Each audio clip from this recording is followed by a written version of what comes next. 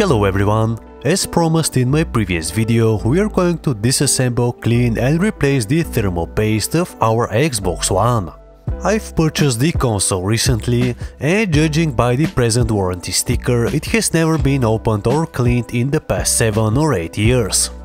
So guys, let's disassemble and give this poor neglected Xbox One the care that it deserves. First we have to remove the side vent that is held by a couple of clips and a plastic tab that reinforces the side panel.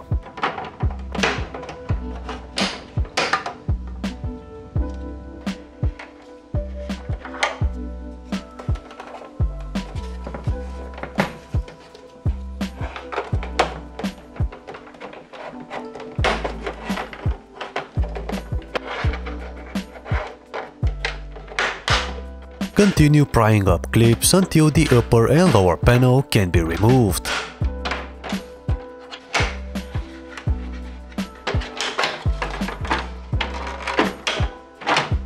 The front button panel has a weird connector that's easily removed with a set of tweezers.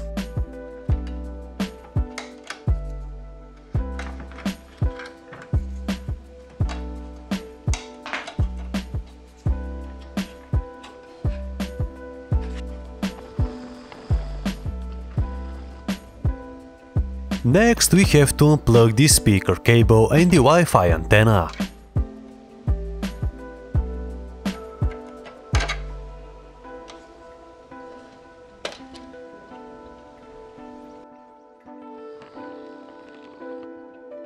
Unscrew the two Torx screws on the Wi-Fi board and simply lift it up.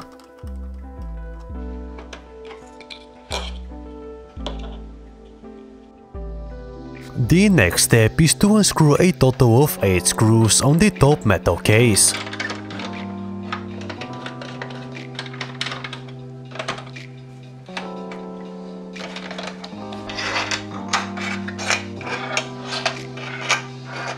Then we can gently lift the case and disconnect the Wi-Fi cable from the motherboard.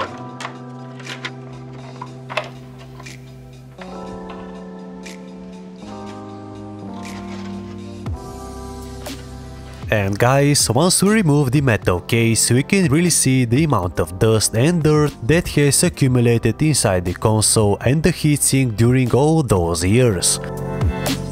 There's even traces of spider web, so at some point in time a spider has probably lived inside our console. Okay, so the next step is to remove the optical drive and the hard drive.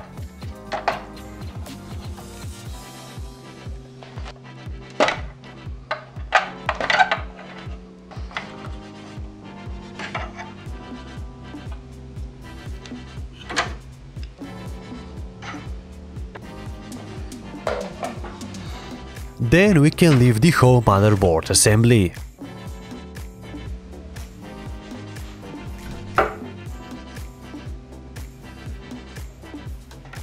Remove the three screws that hold the front panel board. Next we have to flip the whole motherboard assembly and remove another 8 screws.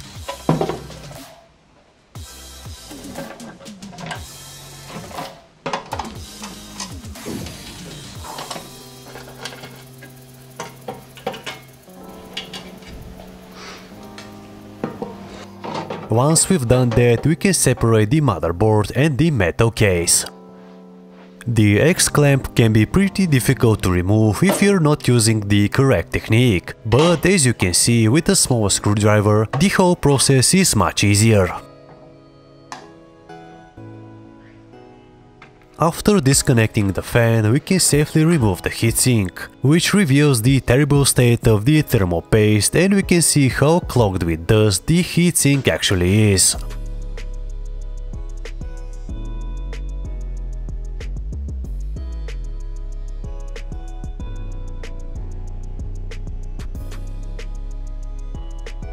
I will be using this plastic prying tool to clean the thermal paste residue, since it's made of a really soft plastic that won't damage the chip. And with some isopropyl alcohol, the system on chip looks nice and clean.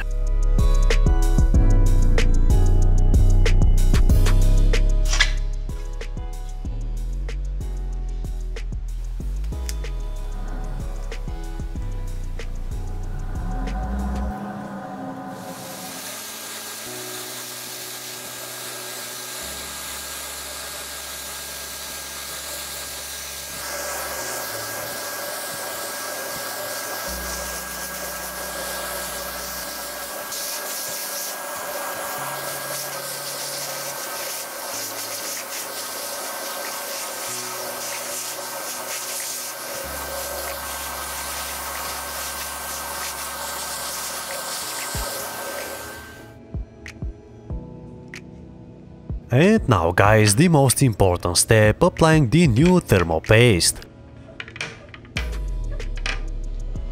I did some research and it looks like this X pattern gives the best results and the lowest possible temperatures.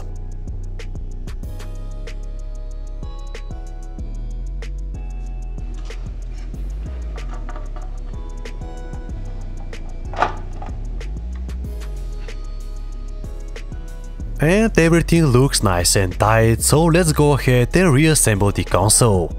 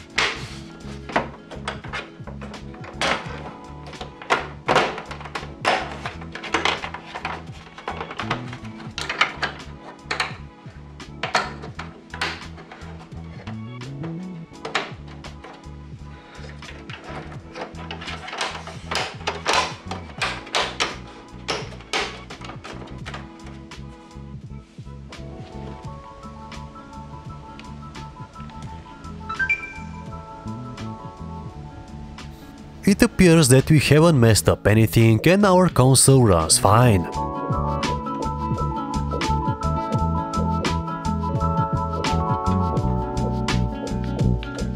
I also played Fortnite and FIFA 20 for approximately 1 hour and the Xbox One runs nice and quiet so far.